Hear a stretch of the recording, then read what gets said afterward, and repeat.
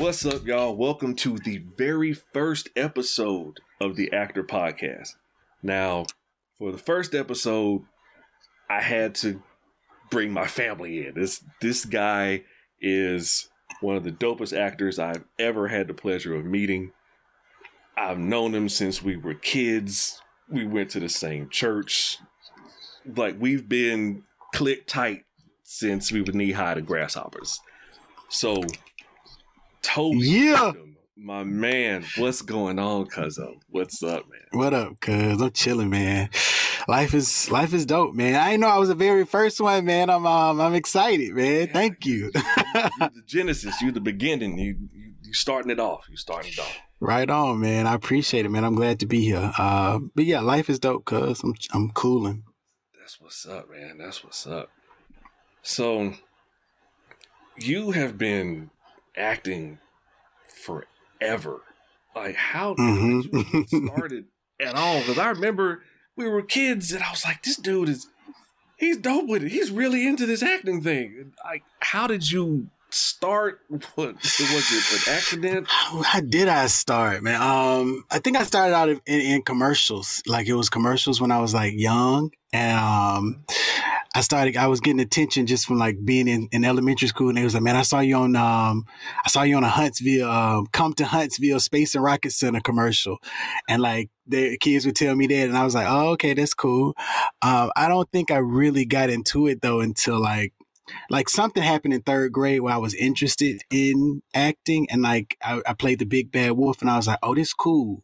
But it was all about attention at that point. But I didn't really get into it for real, man, until um probably like eighth grade. And that's when I was like, I think I'm good at this.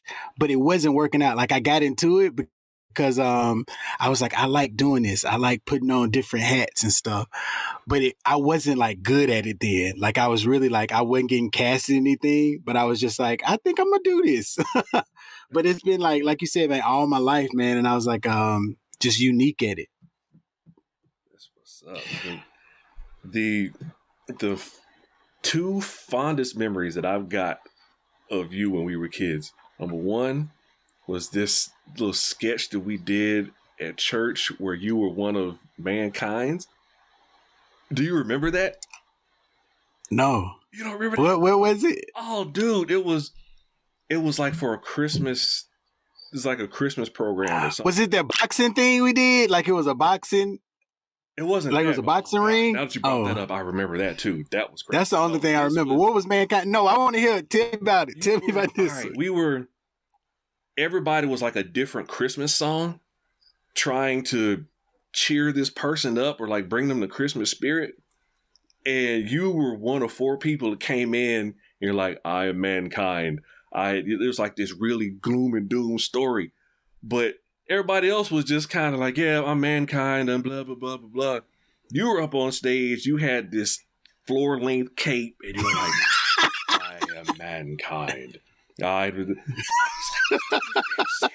Extra. I was extra as hell. that, look, that made all of us look like super amateurs, but it was really cool to see you really committed to it. And Hmm. then as time went on, I was like, yeah, I knew that was going to happen. Yep, I knew Tobie was going to be an actor because way back in the day, he did his thing. Now, the other one was when you did No Exit at ASFA. Oh yeah, bro. That no exit. I remember that. I remember that. I, I I remember I don't remember like the play, but I remember um I remember we had conversations about this because that play was like that play was amazing. With Jean so- Jean Genet or something like that. Yeah. Jean Paul Sartre. Yeah. Oh, that's his name. Look. I had a plan to to uh, direct it when I was in college. Didn't work out, but one of these days, I am going to do no exit and Dude. available. Expect a phone call. Dude, I would love that. Like that that play what like that that because it was like three people in hell or something like that and like hell was And essentially other people each other crazy. They're all, you know, i love that dog and the you know the little man with the horns and the tail, but hell was themselves. And I was like, this is right yeah those Yeah, fly That that really stuck with me. like once I once I started acting, I was like, no exit. That's like the gold standard. No, you got me. You made me want to pull that one back out, man. Yeah, I, that was fly. find that script and read it again. I actually tried to get a, a film done version, and his estate told me, "Nah, we good. We, we don't want you." Yo, I like that you tried to do that though, man, because that's what it's about. Like trying hitting the estates up and like, "Yeah, I want to do this," and they're like, "Nah," but you got to ask, man. So maybe, maybe again some down sometime down the line. But yeah. All right. So high school, you you know you're doing your thing. You went to you went to UAB, right? I went to UAB for college. Yeah. College. Yeah. Yeah. Amazing. High school, I went to uh, ASFA and minor. Yeah. Yeah. So, all right. So you're in college. Are you starting to get cast more and stuff, or is it still kind of struggle? College. Um, I think I was. I think in college I found my people, man, that I wanted to create with. Um, and so I started getting cast in things, but I was also I was um I was afraid in college as well. Like I was, I, I, remember, I think, I think about this. I remember being afraid to be in um, a Shakespeare play. Um, I was just afraid to do that language. But I started getting a lot of stuff in college, but I started creating in college also. I found a, the group of people that I wanted to create plays with. I found a, a teacher started to breathe into me about experimental theater, like creating your own, own works and stuff. So that's what I really started doing that. And that's when I think um, my voice started to, I started to understand that I had a voice was in college and it's like oh i got something to say. That's when i became very interested in like um, vaudeville and minstrelsy shows and stuff like that. I just started to be like yo how did i wanted to figure out how me as a black man in alabama was able to like be on stage and that's where all of that stuff started to happen for, in college. Um, but i did I, I did tune the instrument in college too like um, figuring out what was it? Like? I, I remember doing doing tour groups, and we would have to like go to different schools around and we had we all made a show. And i was like oh this is how i'm gonna how do i keep the audience involved when it's like kids that are like from age you know first grade to 10th grade? How do i keep them involved with this show that we're doing? And so we yeah that was fun to to figure that stuff out. I think grad school though is when i really was like oh, this is hard. This is uh, acting is is not easy. uh, I and I went to yeah, I got to work at it. I went to grad school in San Francisco at um, American Conservatory Theater, and that's when I was like, and I met uh, a lot of my collaborators, my friends that I collaborate with today. I met some of them, and I was like, oh, if we want to do this, we really gotta gotta dig deep into the the human condition. You know what I'm saying? Like I I really gotta be willing to risk some, some things about myself. Be really willing to tell a real story about myself. So. So, how did you go from theater into television, or was it kind of going on at the same time, or did you just be like, "Yeah, I'm gonna I'm gonna leave theater for the back burner and do something different? No, man. Actually, it was. I think it was out of necessity. It was like I had because I, I this this is truly what happened. So I was negotiating a contract for theater in Marin. And I, I had just moved back to Los Angeles. Like me and my wife had just got married, and I was like, I was working at this karate studio and I always knew that I wanted to do theater. I mean, I, I wanted to do film and television. I just didn't know how it was going to happen. Like I moved to California. I was like, I wanted to get to LA, but I was like, San Francisco is the closest I can get. Let me go to grad school over there. Then I was like, all right, now I'm about to move to LA. I've always wanted to do TV and film, but theater is my foundation. Like that's the thing that I love. That's what I, I always was taught that great TV and film actors know how to do theater well. And so that was my goal to be like, oh, I'm about to, I'm a master theater, then I'm gonna step over. But I'm negotiating, this is like 2012 or something like that. I'm negotiating a contract for a theater show.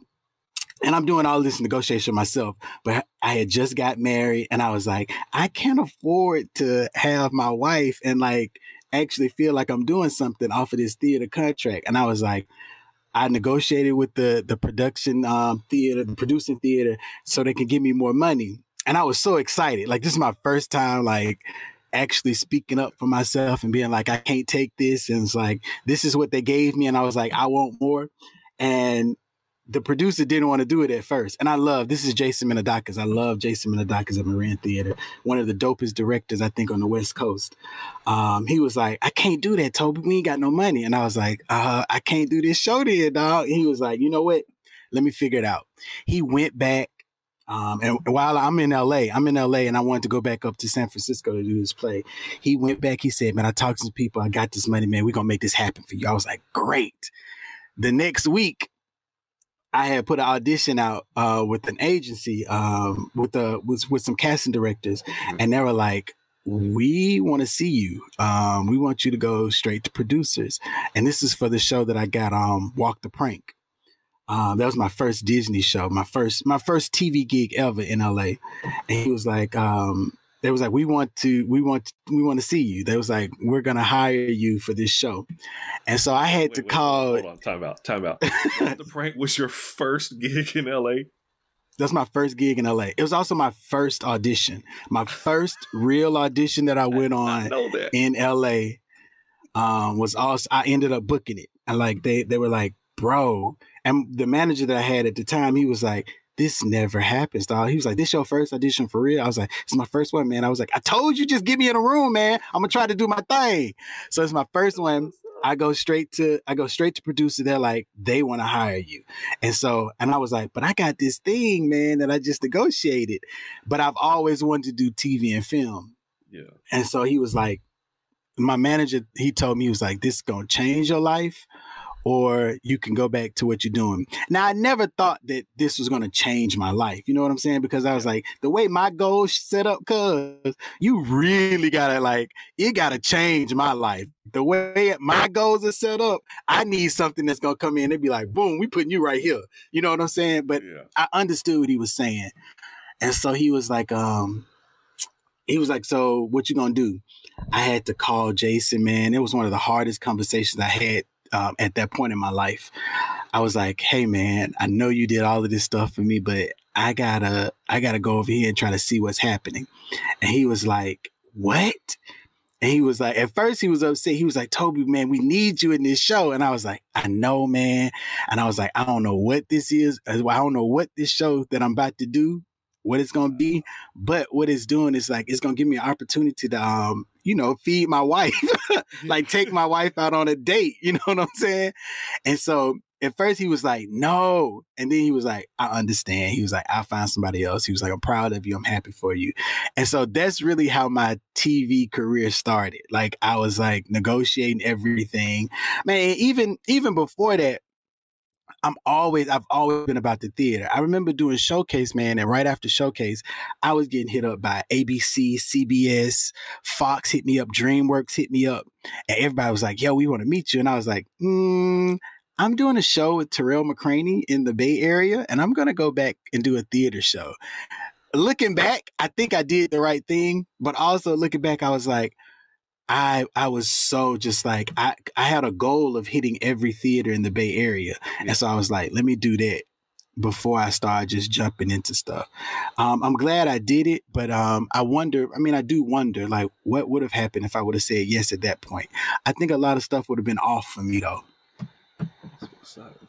Wow, man, that's yeah. The stories like that don't happen. It's like, yep, you just show up and like, here I am throw me the money. It's like no nobody happens that way, but that's dope. Like, dude, I did not know that was your first audition. That is really dope. That was the first audition, my first true. I mean, and I had and excuse me, cause it was hard. I remember I had one agent, man. It was commercial agent when I first got out here, he kept telling me, he was like, man, it's going to be so great. It was so LA. He was like, it's going to be great working with you, man. Oh, man, it's going to be so amazing. And I was like, thanks, man. I can't wait. Like, I was like, let's do stuff. And he never sent me out on anything. Oh, and then, but he would invite me to like all the parties at the agency. And I remember looking around the agency and I was like, this is not what I'm supposed to be doing, dog. I was like, who are these people? I was like, I don't see Denzel in this room. Like, but, but eventually he told me, he was like, hey, man, he called me in his office. He was like, hey, man, I don't really even want to be doing this, dude. I was trying to pay some bills. And I was like, I thank you for telling me, man, but you just wasted like a year of my life. But uh wow. but he he didn't waste it. He actually was teaching me about the industry. So that's how that's how I look at it. Pulling the silver lining out of the cloud. Yep. I got to. That's what's up. So recently, what's been what's been going on? What you, are you still producing stuff or? Yeah, recently I'm in pitch meetings now, man, which is a, a, a exactly on. I feel like it's in process. In in what is the thing in? It's in my momentum. I think it's right in in line with what I want to be doing. Um, I'm doing pitch meetings, man. I've been writing a lot. Uh, 2020, I, I wrote um, I did 20 pitches. I said by the time this year was over, I'm gonna have 20 pitches ready to pitch to um, all the different different networks. So I've been in meetings, man, developing things, pitching my projects. Um, nothing has nothing's landed yet, but I mean, we saw what happened with Squid Games. A lot of people gonna tell you no, and all you need is just one yes. so, uh, just one yes. So I'm just waiting on the yes, man. But um, I'm doing a lot of writing, a lot of pitching, a lot of auditions, um, and just waiting to book because getting ready for this baby to come and, you know, just grind, dog. I'm still grinding. That's what's up, man. That's that's dope. Like it's it's cool knowing somebody that has been at it for a while and knowing the type of person you are and how you always you're gonna you're gonna figure it out one way or another. You've you've yeah. always been this like, all right, well, let's do it. Let's figure it out. Let's let's, let's go. I'm gonna make it woogie boogie, baby. it's like you've always been. I I I want to say a mentor, but I'm trying to think of another term because I've always been able to say, "Hey, Tobie, uh, I got X, Y, and Z going on. What do you think I should do?" Or hey Tobie, I'm about to do some some headshots. What should I what should I be looking at? And I remember sending you a text like, dude, I don't know what to do for these headshots. And you sent me like 10 different pictures. You were like, take a look at all these. This is what you the kind of direction you should go in, you know, it matches your skin tone. Like you you broke everything down in this big string of text messages. I was like, wow, I've got Really? I love it. Like, it was so dope. Like you have always been the just like the encouragement person for me in my acting yeah. career. As that was one reason why I wanted you to be on the podcast is because I just wanted to talk with you about the craft in another setting and not yeah. just, you know, sending text messages back and forth or, you know, seeing an Instagram post is like, ah, oh, Tobie did this or cool, Eric did that. Cause when you did those videos for my wife's classes, dude, yeah, yeah, they went crazy. They loved those videos. They're like, you know him? My wife was like, yeah, my, my husband grew up with him, which made her the coolest person in the world because she knew you by proxy. So it's like you have a wide reach. Just mm you know, being just being you, you've got a wide reach, and so I just want you to know I appreciate what you do for me directly and indirectly.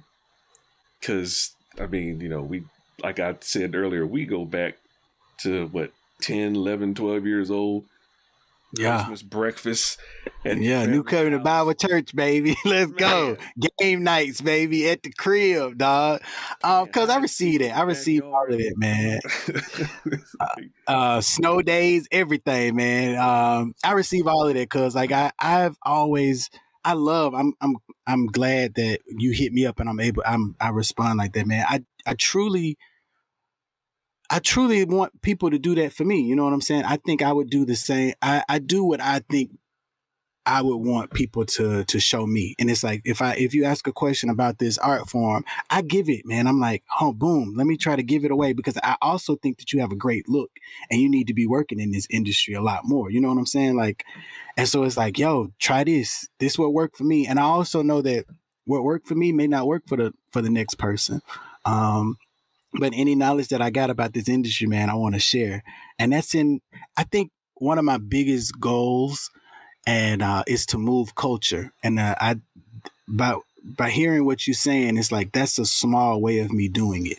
It's like I want to breathe into other artists, uh, other people that look like me. You ain't gotta look like me. I'll still breathe into. You know what I'm saying? Like I want you to. I want everybody to succeed, but especially us, man. Like growing up, I mean, in Alabama, dog. And I know you from you from like West Virginia too, right? Yeah, yeah. But where you? Yeah, but in Alabama, man, I it wasn't. I ain't have a lot of people that looked like me around there that was doing it, and so when when I see us, man, um, yes, please, let's get this, let's get this. So thank you, cuz. Oh, sure. All right, now I gotta know what prompted you to start the Blue Minivan podcast. The Blue Minivan. Um, Blue Mini.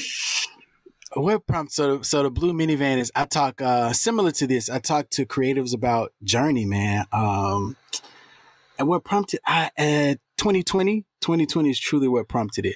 I was sitting and i was like i've always loved being around the table in theater and talking about the moments before. Like what is the moment before we um what is the process of putting this thing together this play together and then we get to opening night, like we do tech in a theater setting.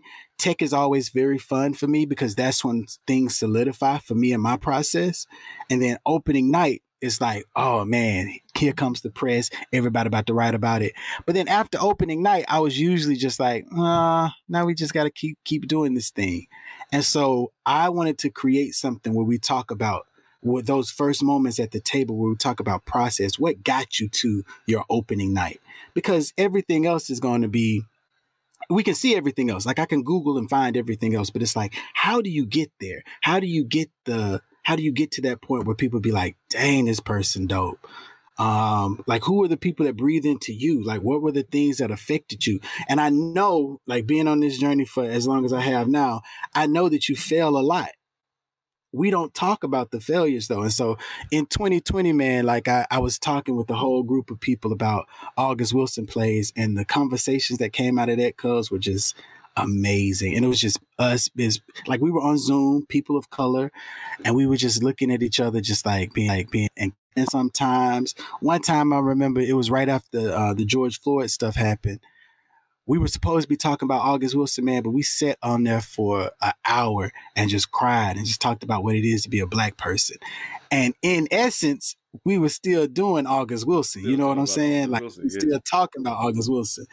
And so um, that's what I was like, I want my goals was to take the my goal was to take the conversation that we have in private and make them public so that now the conversation that we have in private begin to change.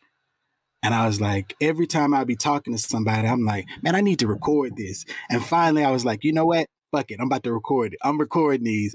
and I let people know. Um, and you remember the blue minivan from back in the day, right? Yes, y'all had a blue minivan too. We had one too. Yeah. Y'all had yeah. blue goose. Ours was the tank. Yeah.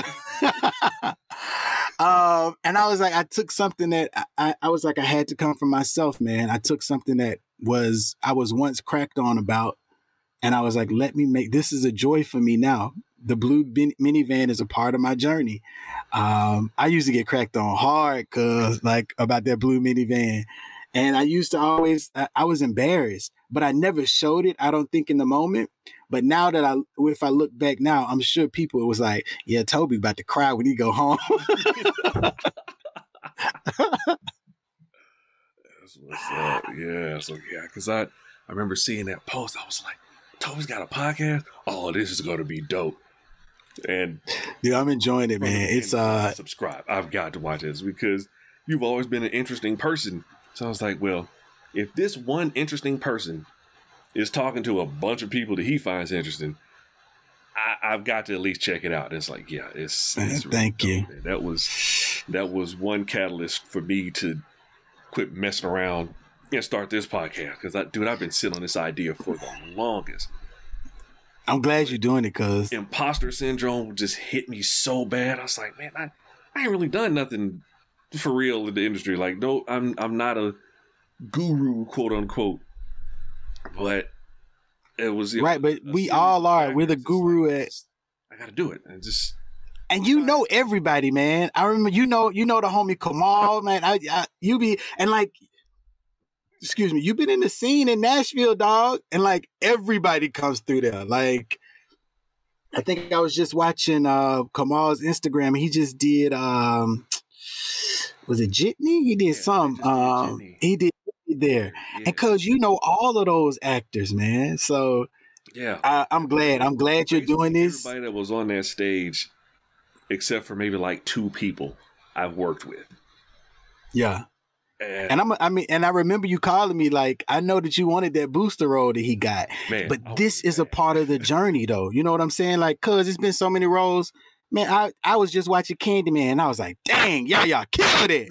y'all, y'all was so amazing in Candyman, dog. And I was like, I ain't auditioned for it in them, but I was like, dang, this dude is fly. And that's how it is. Like we gotta we gotta salute the people that get it because our stuff is coming. Yeah. That's what's up. That's what's up. All right, uh, shoot. I, I appreciate you gacking with me. Now, I'm not gonna make you freestyle because I can't. So I'm not about to have, I'm not about to get embarrassed on my own show. But I do have a few questions that I'm going to ask every guest. Nobody is going to be able to not answer the questions. They're not. It's nothing, you know, scary or spooky or anything. But it's a few questions. It's like rapid fire. No, no, no, no, no. You can you can, oh, you can okay. take time and think about it. All, right, give so, it to me. What is one piece of advice that you would give to a fellow actor? Risk, fail, risk again. That's what I live by. Um, keep trying. Throw it, throw it out there. Throw it on the wall. Make some art. That was like a lot of pieces, with it? no, it's, it's it's it is one piece with several pieces that make that one piece. So you know, I, I I got you. I know. I feel what you're picking up. All right. One book that has been influential for your career or for your life or both. Mm. This gives me pause because my wife would be laughing right now because I don't read, cuz. but I do read. I read a lot. Um, but it's usually plays and scripts and stuff. Uh, so I think one book. It can be a play or a script because I mean they do come in book form, and that that that, that counts. So. I uh, give me that one last. Let me think about it. Let me keep thinking about it. Asking another. Is that the last question? That ain't the last one. no, it's not the last one. No, no, no. We'll come back. This it's like Family Feud. We'll come back to that one. All right. okay. Um. All right. Now this this is um something. Tell me something that you find mildly mildly interesting. And so what I mean is it's just something that you just kind of like, oh yeah, that's pretty interesting or that's pretty cool. Like I recently tried shrimp burgers for the first time. Like my wife found them at Trader Joe and they were delicious. I had never had a shrimp burger but I was killing them. You know, put a little mm. Asian chili sauce on there, and you know, it was it was cool. So it's just something that you find interesting. It's just like, oh, okay, yeah, it's nothing that's groundbreaking, but it's just mildly interesting. Oh wow, these are good. Um, I find mildly interesting. Well, I'm. I guess I'm fascinated right now with with pregnancy, man. Like, cause we're about to have this baby, and I still think it's really strange that a child can grow inside of a woman, man. Like, I am very fascinated and interested in how that happens. Um, and like, there's like like there's a human inside of my wife right now, and I just I I truly can't comprehend it. Um, it's it's it's weird, man. Like it is what it is. I'm like, how how did this happen? And I'm like, uh, and I look at it, I'm like, wow. So that's that's something that um that's in the moment. Uh, what is there anything else? Um, oh, I actually did have this today. And I, I and this is this is connected to to to babies and life and stuff. But I was like, how is my child like she's four? I was like, how is my child in the back like singing stuff and like I was like, how is it that her brain then picked up how to learn language? And, and then I think about myself and I was like, I wonder if my mom still looks at me and is like, how did he know how to talk like this? it's like those things are very interesting to me, man. I don't know if it's like, existential. Maybe it's not that existential, but how the brain can do stuff, man. Um, I'm fascinated about the brain and how it works. Are we back to the book question now? Back, we back to the book. To- you know what? This this may not be. Uh, this is not going to be transcendent in any way, but I recently just read the Halloween Tree. It's a children's book. And the reason that I find this profound to me is that this tree was was it was grown in a tree that was full of trees for Christmas. And uh, when Christmas time came, he never wanted to be picked. This tree was like, I don't want to be picked. I don't like lights. I don't like decorations. I don't like people. Um, and so this tree was alone for a lot of its life because Christmas came and all of the people, all of the, the families picked the Christmas trees and he was right there. He just kept growing, kept growing. And eventually, like the tree grew to be really ugly because it never wanted to be around people. Mm. And so it was like, it, whenever it grow its roots, it'd be like, I'm to do, I'm to grow my roots and it's to be real knotted and I don't want no nobody. But people still love this tree. People come in and jump on this tree and hang out on the tree. And they were about to cut the tree down one day because it was like, this tree is really ugly. The tree then, the children around it was like, no, I want to keep this tree let's put lights on it for Halloween. Let's put a, a pumpkin up there. Let's put a jack o' lantern. Let's put cats and stuff on there. And eventually the tree realized that I like lights. I like decorations. I'm just a Halloween tree. I'm not a Christmas tree.